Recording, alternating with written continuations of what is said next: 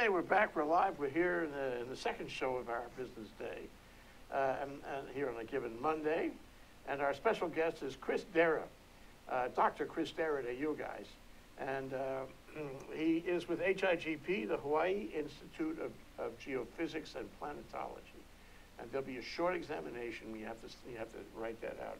So if I say HIGP, everybody has to know that it's the Hawaii Institute of Geophysics and Planetology. It's a very sexy name because it does very sexy things. Welcome to the show, Chris. Aloha, Jay. Thank you very much for the opportunity to, uh, to talk to you about uh, the science we do. I'm delighted to have you here, yeah. So tell us how you got into science in the first place. Was there a moment or a teacher or a class or a course or an event in your life that made you, you know, have an aha moment? Uh, it it was a long road. Uh, you know, I, I grew up in, in Poland on a farm. Uh, my grandfather was the farmer. My father actually was in technology field. He was an electronic engineer. He worked at a radar facility at an airport.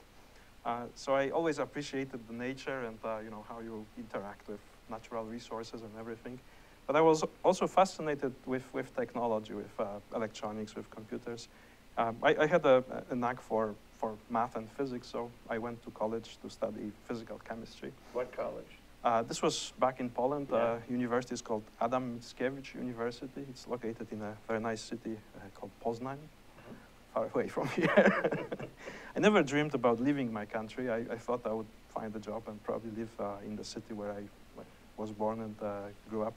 Uh, but there was an opportunity to come to US. Uh, uh, you know, I always, when I was uh, younger, I always liked science fiction movies and, and stories. And uh, one of my favorite movies was Indiana Jones. Uh, so when I, Me too. I'm glad we shared the, the preference. So when I was in, uh, in uh, graduate school studying physical chemistry, there was an opportunity to come for an internship to uh, an institution where the person who was actually uh, the origin of Indiana Jones' story worked. Uh, so this was a lab at Carnegie Institution of Washington in Washington, D.C. So I went there for uh, a summer internship for uh, four months in 1998 and somehow stayed on. so it's been almost 18 years. That's great. I don't know why, but you just, you reminded me of that scene in the early part of Indiana Jones where one of his students, a woman, uh, bat, bats her eyes Yes, at him. I remember that says, I love you on her eyelids. Yeah, haven't happened to me yet, but I'm working on this. Maybe one day, maybe one day. Maybe one day. So how did you get out to Hawaii? Um, so I, I worked at this institute in Washington, D.C. for, for seven years. It was a, a blast. D.C. is a great place, uh, especially if you're a foreigner, because there's a lot of foreigners there, are a lot of uh, things happening. Uh, uh, but uh, I, I started doing experiments at these particle accelerator facilities. One of them was uh, in Chicago at Argonne National Lab. Um, so What's a particle accelerator? uh, it's, a, it's a very big facility that costs a lot of money and it accelerates uh, elementary particles like electrons or protons. So the, the parts of an atom Yes, yes. at high speeds. at high speeds. So why would you want to spend your time doing that? uh, there's many reasons. So some particle physicists, for example, they accelerate particles and smash them against each other to see what are the components of an atom. Uh, in, in my field, we use particle accelerators to produce very, very intense X-rays. So X-rays are uh, like the ones that are used in, in a dental office or to, to take uh, pictures of your lungs, um, are an invisible kind of electromagnetic radiation. And in my field, we use them to study the atomic structure of uh, matter. We look at atoms and bonds.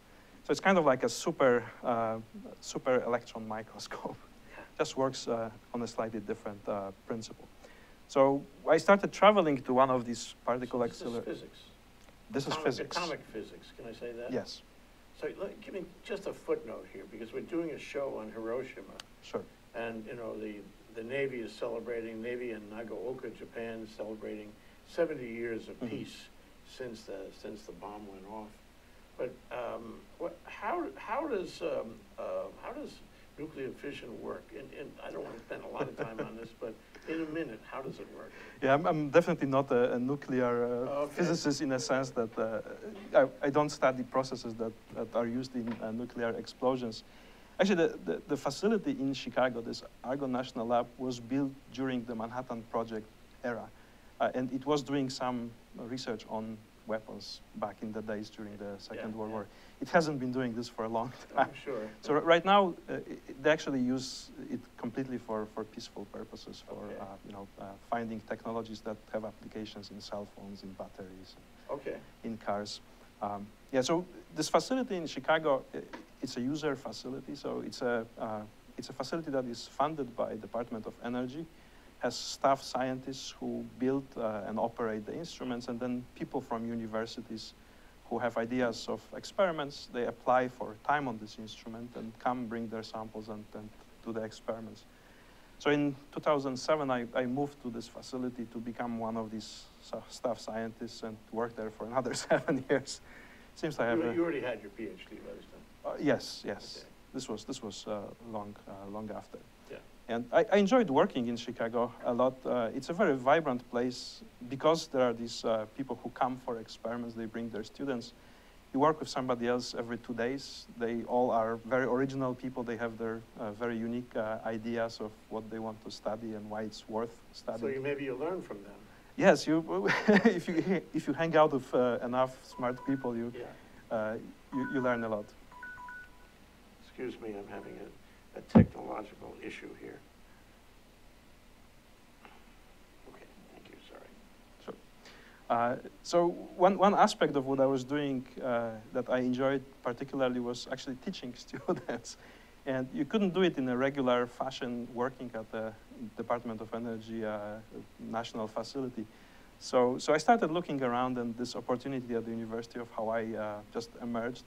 And it was a, a very unique opportunity because uh, HIGP was one of the leaders of, of uh, extreme condition science, the science that I do. Uh, so they had very well equipped lab uh, and, and uh, tradition of, of doing this kind of research.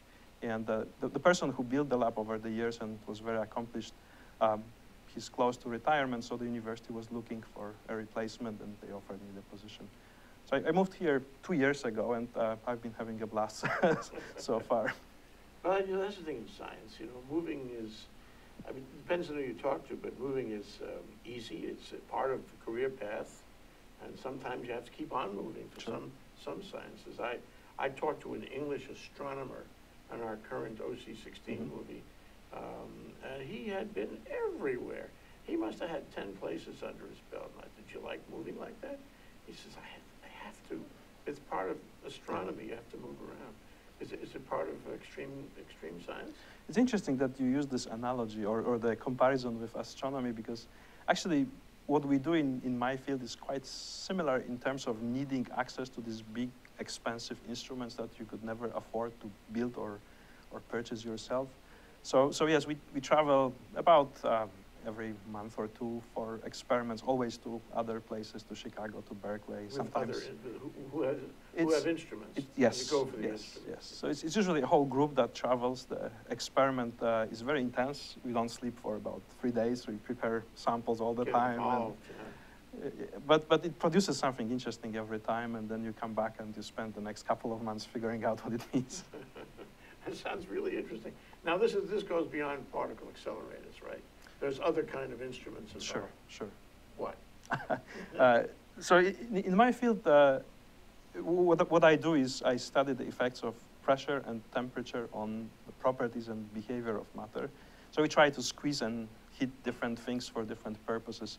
When you use uh, little pieces of rocks, you try to simulate the conditions of uh, Earth or other planet interiors.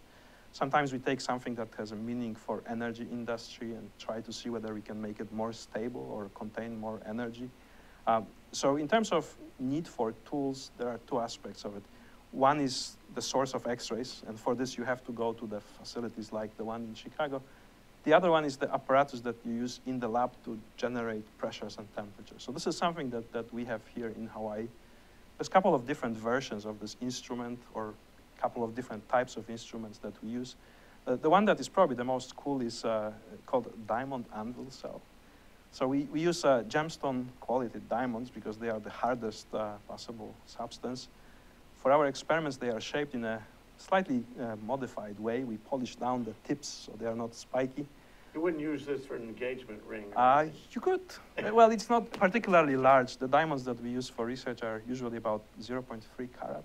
So I, I think it's pretty decent, but you wouldn't impress your girlfriend. You'd have to tell her the whole story. and Yes. Then you would impress her. Well, what, what, unfortunately, what happens a lot is we break them. So Mm. diamonds are not forever, at least not in my lab. so during the course of experiment, you put your sample in between the two diamonds, you squeeze it really hard. Uh, one of the advantages of using diamonds is that it's optically transparent, so you can see through. Samples are tiny, so you have to look under the microscope or with some specialized spectroscopic tools. But you can basically see as your sample changes when it changes. Uh, so if you overdo it and if you, if you go to too high of a pressure, your diamond shatters into little Shatters. pieces. Yeah. That must be something to see a diamond shatter. Uh, unfortunately, yes. Yeah. We'll take, take a short break. Um, we're gonna come back in a minute and we're gonna see some of your slides Sure. And get a handle on uh, your science. And that is, uh, what is it, extreme condition science, extreme condition research, which means extreme conditions in any form. I was thinking maybe it's just weather, but it's not weather. No, It's not anything weather. extreme having to do with any material and uh, any combination of elements, I suppose. Pretty much. It's the, the term extreme uh, refers to the thermodynamic parameters, so pressure and temperature mainly. Uh, Okay. Ooh, we're just getting interested and it's getting exciting. Uh, that's uh, Chris Dera. He's with HIGP. He's a scientist. Uh, he's doing extreme condition research. And we'll take an extreme break and we'll be right back. This will be extremely short, actually. Aloha, I'm Keli'i Akina, president of the Grassroot Institute and host on Ehana Kako, a weekly program on the Think Tech Hawaii broadcast network. Ehana Kako means let's work together. Think of the sad alternative, let's not work together. Here in Hawaii, with all of our diversity and the richness of the people, it's important for us to come together around issues on the, the basis of what's right and what's good and what's going to serve the common good. And that's what we try to do at Ehana Kako. Every week, we interview movers and shakers, people in government, business, and other sectors of society to talk about how to create together a better government, economy, a better world here in Hawaii that can bless the rest of the world. I thank you for your attention to Think Tech Hawaii, and we look forward to seeing you every Monday, 2 to 3 p.m. on the Think Tech Hawaii Broadcast Network. We're Ehana Kako, and we wish you well. Aloha. Okay, we're back. We're live. We're here with Chris Dera with HIGP, talking about extreme conditions and material sciences. Yes. That's fascinating to me because you're, you're, you're inherently, you're doing material science. pretty much, yeah. In- And In different contexts, but yes, it's Yeah. material science. So, I mean, if I, if I'm doing research on some kind of, um, you know, a combination of elements that I want to be hard or soft or pliable or what have Mhm. you, resist cold, cold or heat, whatever it is, I might talk to you about that. Absolutely, I'm the person. It actually, to me, extreme condition science is something like a modern version of alchemy. So, you know, alchemists in, in medieval times, Why didn't you tell me that before the show? We would have named it alchemy, modern alchemy Yeah, absolutely. I have a picture of an alchemist in one of my illustrations. But uh, the reason why, why this, uh, this comparison works is, uh, you know, the, main goals of alchemists were to look at very unusual behavior of ordinary materials. They were trying to turn uh, ordinary substances like lead into gold, change their properties, the way they behave. Uh, they also tried to look at processes that in normal, under normal conditions take very long time and see them in accelerated form. That's, that's a definition from Wikipedia. Did, did they achieve those things? Uh, I, I guess not, not very often, but we are doing much better at this. So, so to, to give you an example of how this uh, high pressure or extreme conditions alchemy works is uh, if you take any gas, let's say that, that we trapped uh, some of the air in this room uh, into a container and squeezed it to the kind of pressure that, that we reach in my lab every day, uh, it would turn into stone. Stone, It would turn into air crystal. stone. Yeah, so every gas that is present in the air, nitrogen, oxygen, and carbon dioxide, they have a solid form at sufficiently high pressure. So what we usually do in my lab is we solidify gases or we squeeze things that are already crystalline and look at what happens. Do they stay uh, as solids? And normally not. yes, they, they uh, well, there are some exceptions, and I, I have some examples uh, from, from uh, Let's take the research we have done. We're going to go to the pictures now that uh, Chris uh, Dera brought. And here's one. So Chris, explain what's on there. All right. So you, you have a picture of, uh, of my alchemy lab uh, on a day when I didn't shave for, for a week. So again, this is, uh, this is uh, just to illustrate that what we do it kind of follows the, the general goals of what alchemists did in the past. Wh- What we do has several goals. Uh, we either look at materials for the purpose of uh, finding better materials to synthesize something that uh, doesn't form uh, under normal conditions and requires pressure and temperature. But one of the main contexts and context which is particularly important uh, for my work at uh, HIGP is, is the context of earth science. So uh, Earth is a very complex and dynamic system. It's the planet that we live on. Uh, and we have these major uh, geologic events like volcano eruptions and earthquakes. Uh, so for, for the purpose of, of being able to prepare for these events and live in some harmony with the planet, we have to understand how the planet is built, what are the components, what kind of properties and, and processes occur at different depths and so on. So I, I think in elementary school, children learn about this uh, onion model of the Earth, that we have different layers, crust and Sure, mantle and in and the core. center, it's really hot. Yes, yes. So that's what we do. Is Uh, that true? Of course, yes. so if, if you, you know, I like science fiction movies. One of uh, my favorite movies was Man in Black. I don't know if you remember, there was a, a cat, his name was Orion, that was wearing a, a, a necklace with a universe in it. So what we do in my lab is kind of similar sometimes to uh, this necklace with a universe. We put a piece of iron into a diamond anvil cell, this small device that you can generate high pressure and temperatures. You hit it with a laser, it melts, you have the molten lava inside the diamond anvil cell. So it's like having a piece of earth core that you can hold in your hand. Okay, okay, That's very hot, yeah. Yeah, you have to be careful. Extreme science can be dangerous sometimes. No, I, yeah, I was gonna say that. I mean, if you're dealing with extreme of anything, it could, I, I wouldn't say blow up, but it could shatter. Sure. You don't wanna be there when it shatters, right? All these things. Yeah, I think one one of the keys to keeping things safe is making them really small, and small is kind of a requirement of uh, extreme condition science. So pressure is the, the more uh, mysterious of the two variables that we normally change during experiments, pressure and temperature. And pressure is force over surface area. So the two ways of generating very high pressure is either to squeeze very hard, apply a high force, or use a very small uh, surface area. So we usually choose the second because it's easier and safer. Yeah, Uh, yeah, yeah. so our samples are about uh, a tenth of a human hair size. If we talk about crystals, these are little crumbs of rocks that you cannot see with your eye. You have to look under the But you can microscope. apply a lot of pressure. Yes. uh, On that surfaces. Okay, let's go to the next picture. This is the one about making gold. yes. so uh, the, the problem with understanding how Earth looks uh, on the inside is that we cannot really access it directly. And again, if you, if you look at books and, uh, and movies, people had ideas about exploring it uh, in vehicles or going through some tunnels like Jules Verne uh, imagined. uh, Jules Verne, right? Yes. To the journey to the center of That's the right, earth, that's wasn't right. That was one of my motivations to become extreme scientist.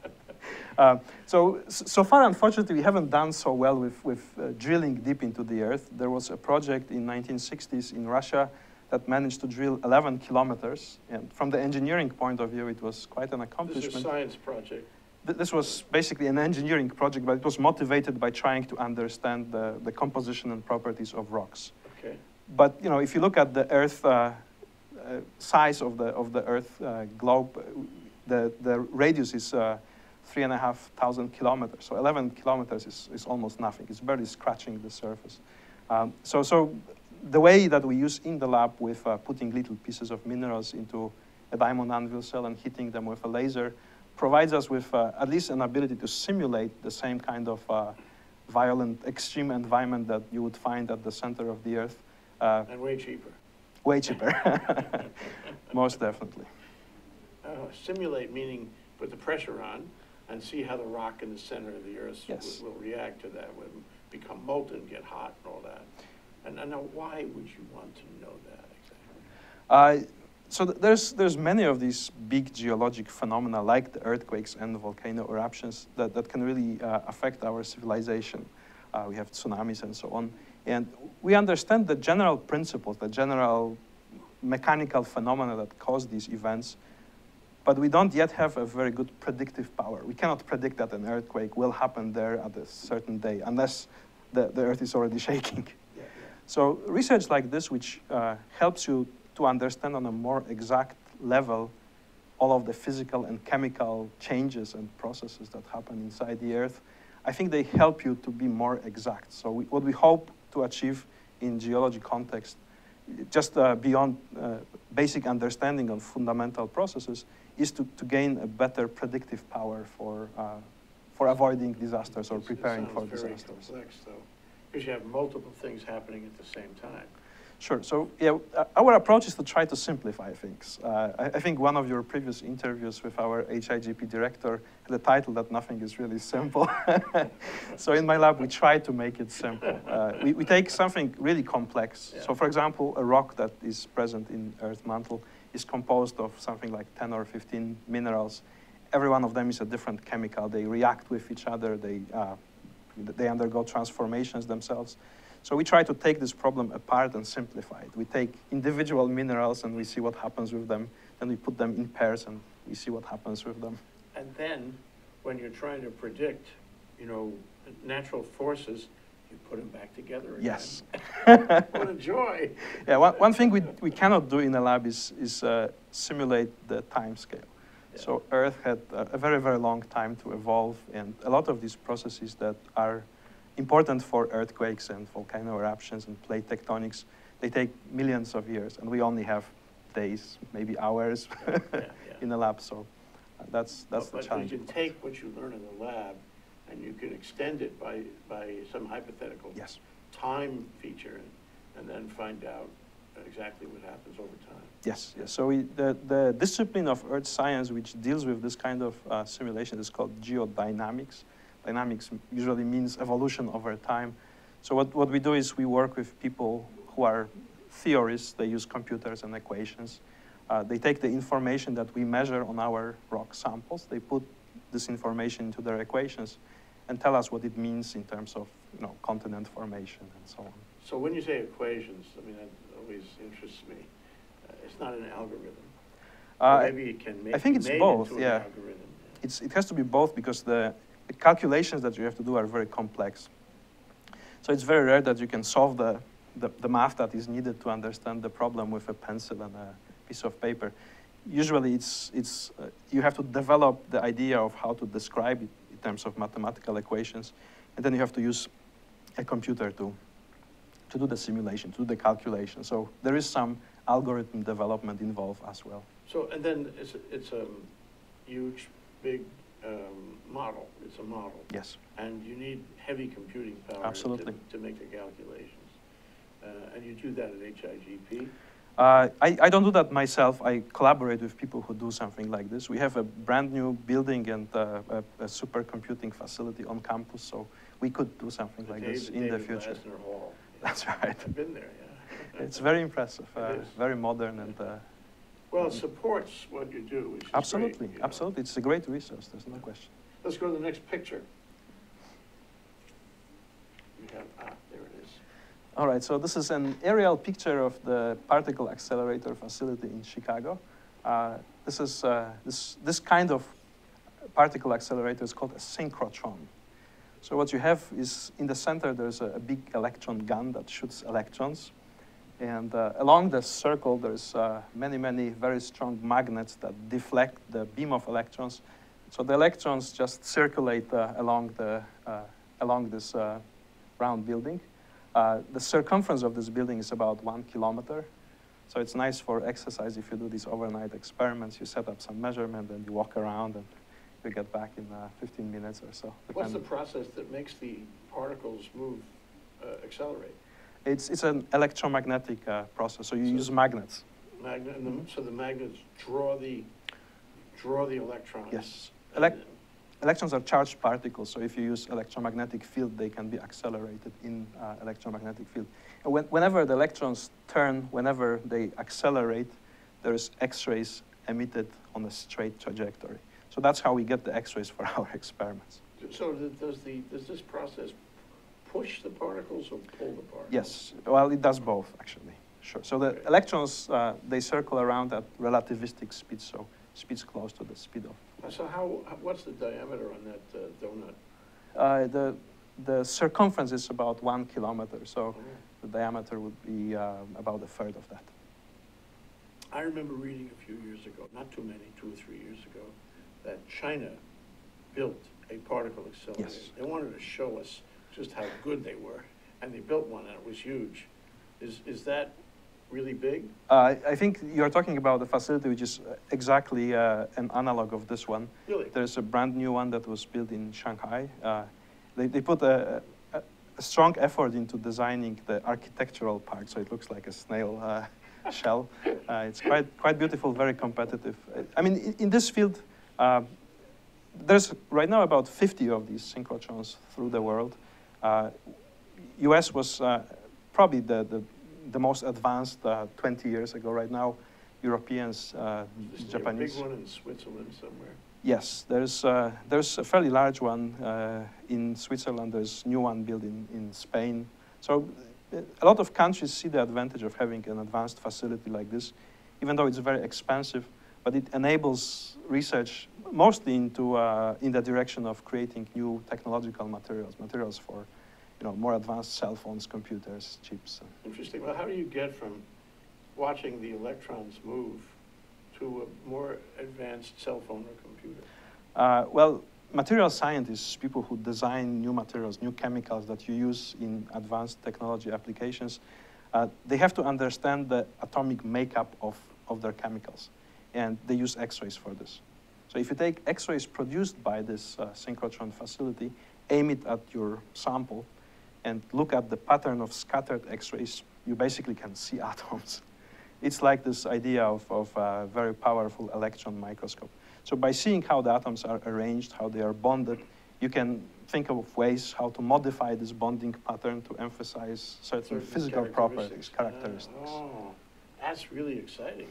And that happens. That's how they make these cell phones. Absolutely. Wow, that's pretty serious business. And that means that it will continue to happen. It, that we'll be finding better materials, better characteristics for especially cell phones, but all kinds of other high-tech equipment, yeah. I, think there's a very good chance for this. So as, as I said, uh, these facilities, they keep growing uh, in different countries. And in US, there's a, still a strong support for this kind of research. There was a new synchrotron ring like this uh, built in uh, Brookhaven on Long Island uh, just last year. Uh, so, so there's a continued investment, and I think it's a wise investment. It's an investment that brings long-reaching uh, advantages. One more question before we take our next break, and that is, it strikes me that, uh, you know, Sony recently, I mean, uh, I couldn't say months, probably Mhm. months, came out with a battery um, that lasts for 20, 20 years and had multiple cycles, lots of cycles.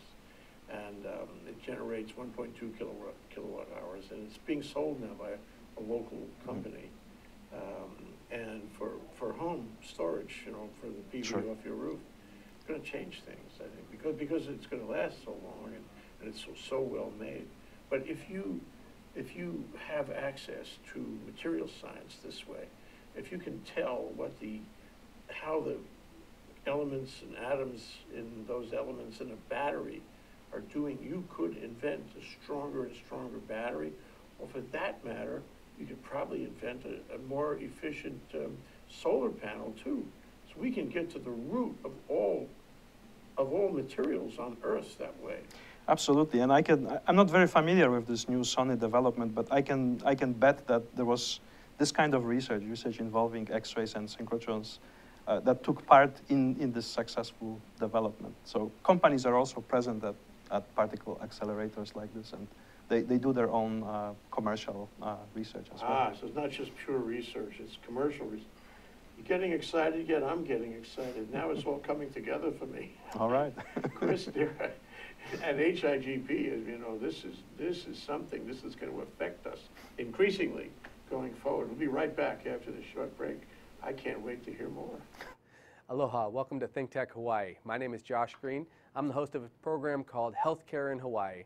I'm a physician. I work in the emergency department on the Big Island. I also serve in the state senate, which please don't hold that against me, doesn't detract from my television program. We speak about all the big healthcare issues in the state. We get together on Tuesdays from 2 o'clock till 3 o'clock in the afternoon, and we try to talk about the most important issues in healthcare. This is a terrific venue for people to learn about healthcare. There are many programs on this on this station. We broadcast it later, uh, not just on the internet, but also on OC16. Thanks for joining us. Please be informed healthcare consumers. We're here with uh, Chris Dera of HIGP, and the pace of this discussion is growing more exciting. Uh, we're talking about extreme condition research, and that means extreme condition on everything, on every material, every atom, and you could learn so much. But you were saying in the break, Chris, that sometimes you don't know what you're going to get. It's a surprise. yeah, this, this is one of the aspects of, of extreme science that I really enjoy. So th there's a lot of important basic science that is very uh, incremental. It's, it's kind of uh, very systematic, but it rarely brings exciting results that you didn't anticipate. And this, this is usually not true about uh, extreme condition science. B because of the way we do these experiments, we put these chemicals together and we squeeze them and hit them with lasers. It, it's often that we see something that we didn't anticipate, and it's often something that takes a pretty long time to figure out why it happens and what you could do with it. Yeah. But when you learn, it's an aha, right? Yes. It's, it's really something that might take you in a whole new direction. Sure. New ideas. Yeah, so an example of this is uh, several years ago when I was still in Chicago, we, we worked on uh, high pressure and temperature experiments with rust. Okay, so rust is an, uh, a product of oxidation of iron, which is an iron oxide called hematite. It also occurs as a mineral, so we were more interested in the mineral aspects of it. Uh, but there's only few iron oxides known. There's uh, hematite, there's magnetite that is used in magnetic tapes, and then is wustite that is present in, in the Earth uh, lower mantle. So basically just three compounds. And you know, people worked on iron and oxygen system for basically centuries. Chemists look at it from, from the beginning of, uh, of chemistry, from the alchemist times. So it was very surprising to see that at fairly moderate pressures but very significant temperatures, you can make a new, new form of iron oxide that nobody has seen before. So this, this was an exciting uh, discovery that uh, um, a, a, young uh, researcher working with me made in 2009. And uh, we, we are still uh, trying to figure out what you can do with this new iron oxide. You can actually, once you make it, you can take it out. Nobody has seen it on the air. So you're holding a substance that is like uh, Unique. unique.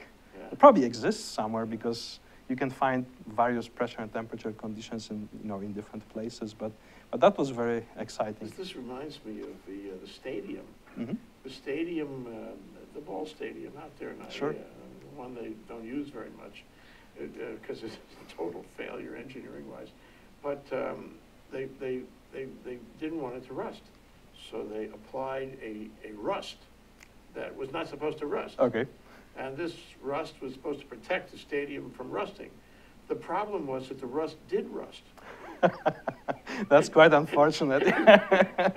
It was several years ago, so they didn't, they have the benefit of your research. yeah, yeah. But theoretically, with this, you could find a rust just like the kind they wanted, a rust that wouldn't rust. Yes, yes, yes. That's the idea. I mean, we, we often look at oxidation processes that happen at pressures and temperatures and with time. Uh, and yeah, we, we normally don't do, um, most of my experiments are, are focused on basic science, so we, we don't target certain technological applications directly. But quite often there, there's uh, implications and, and ways in which you can apply what you learn into a, into a technological context. So let's take an example of that. So you're working uh, on rust maybe or something, and uh, I don't know why. Wait, Did you wake up one morning and say, I think I'll do rust today? Uh, You know, you saw some rust and it inspired you, I I must know more about rust. Anyway, so you learn something by accident, you know, that, that could have a commercial application. Technical. Sure. What do you do with that? Uh, well, it's, it's a pretty long road. So with, with most of extreme uh, science uh, research, there's always a challenge of uh, cost of, of making these new materials. We, we often see things that are unique and, and have unique properties. But if you wanted to make them on a large scale, it's, it's a different story. It has to have economic sense. Right. So there's, there's, you know, if you found something that really has a big potential for commercialization, there's a scale-up process.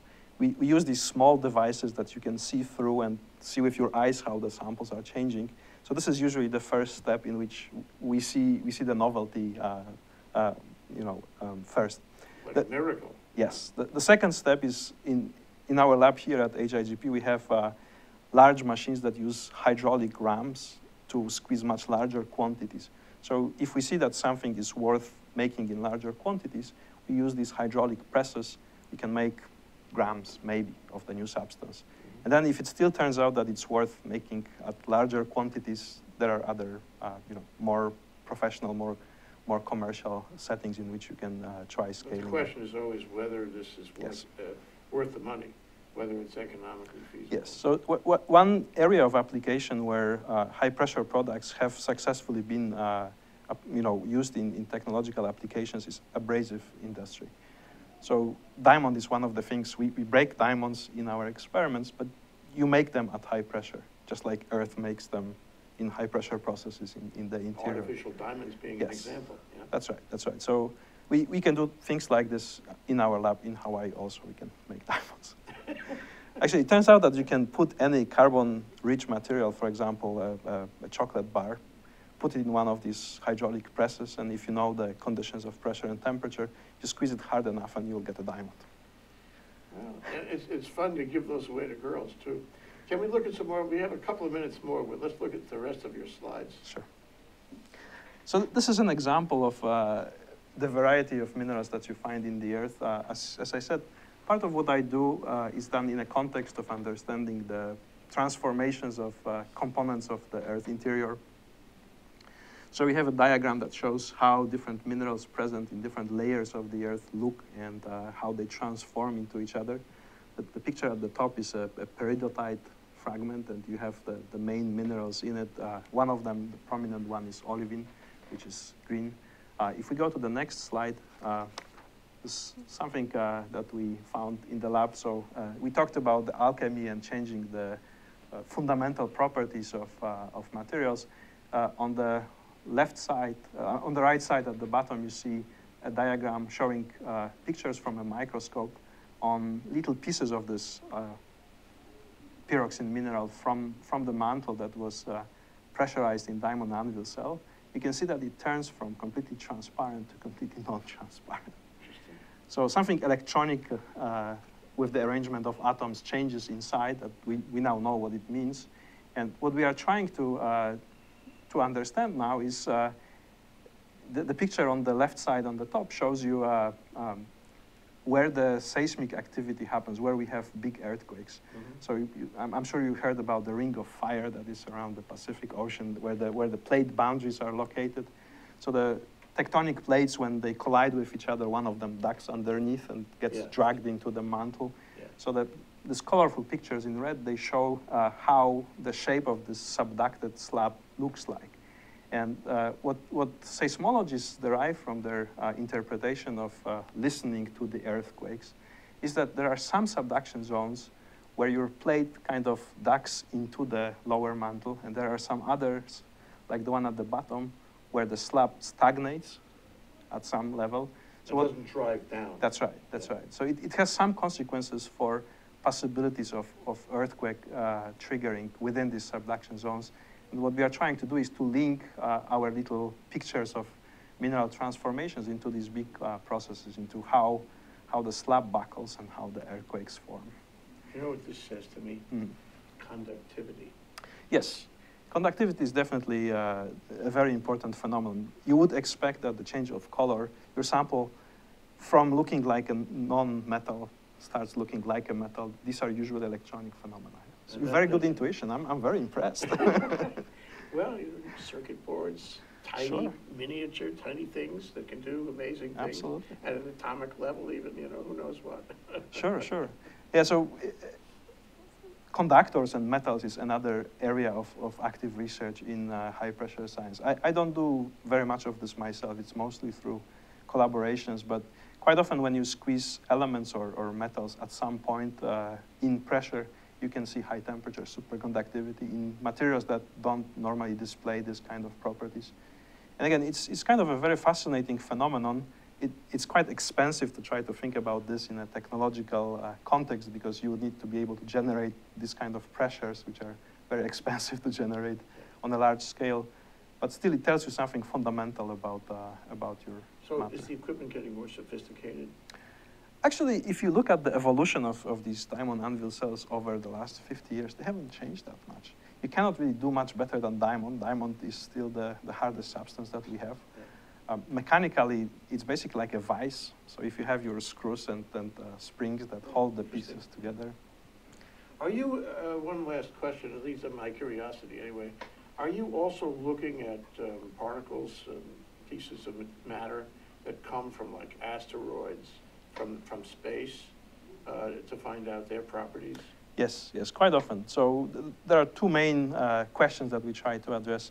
One is if people find natural pieces of, of meteorites, uh, you want to understand the story that they tell you about the formation of this meteorite, how it, how it was ripped apart from the planetary body where it originated and what happened with it. So one of the things that we study often is uh, shock polymorphism. So polymorphism is uh, ability of one substance to occur in different forms, like carbon occurring as graphite and diamond. Very different properties. It's the same atoms inside, but they are arranged differently. So something like this happens often as a result of shock phenomena. For example, impact shock. If you have a, a meteorite which strikes the surface of a planet, it generates high pressure and high temperature conditions, and understanding this is what we do. Uh, so I, if we still have a moment, the last, uh, The last the last slide, slide, the last slide. I, I think that will be something that will probably excite you a little bit. So I talked about alchemy. Uh, this is uh, basically alchemy in diamond anvil cell. Uh, we did some experiments mixing hydrogen with xenon, two gases. Hydrogen is uh, a well-known gas, and xenon is a noble gas. It's a, it's a, what do you call it? It's, uh, it's static, it's, uh, not, not, an- it's an inactive. I- inert, yes. Inert, It's, it's a noble gas, Yeah, okay, inert, okay. that's right. So what was expected is that these two gases would just solidify without mixing, without reacting with each other, because xenon is known to be inert. What we found is that at some combination of pressure and temperature, you actually get a crystal, a, a piece of rock, that contains both hydrogen in very large quantity and xenon. And actually, if you freeze this, you can take it out and it's still a piece of rock. You have to keep it at low temperature, though. So when, when we published the results of this work, there was a little bit of interest in the context of automotive industry because you know fuel cells that uh, that use hydrogen is one of the directions that uh, automotive industry is looking at for for future uh, replacement of gasoline. Are you saying that you can put it into the rock and then you can get it out again? Yes, you have to Ah. keep it cold though, right? Okay, but still, I mean, it's, it's a storage mechanism. Yeah, And, and instead of using high pressure to, high pressure, you use cold. Sure. Keep it in one place. But you have to use the pressure first to make it, but it's not Yeah, yeah. very significant pressure. Problem so far is that xenon is probably more expensive than The old problem. but at least we found something that seems uh, seems pretty Yeah. unique and uh, intriguing. Well, thank you, Chris. This has been a great discussion. Thank you. Opened, opened our eyes to so many things. You're in a, in a relatively unique area. I think we really appreciate what you're doing and how it affects people. And I, and I have a feeling we're going to be hearing about extraordinary advances in this area. Thank you very much. It was a pleasure to, to be here. Thank you, Chris. Thank you. Chris Dera, Chris Dera, HIGP, Extreme Condition Research. Thank you very much. Aloha.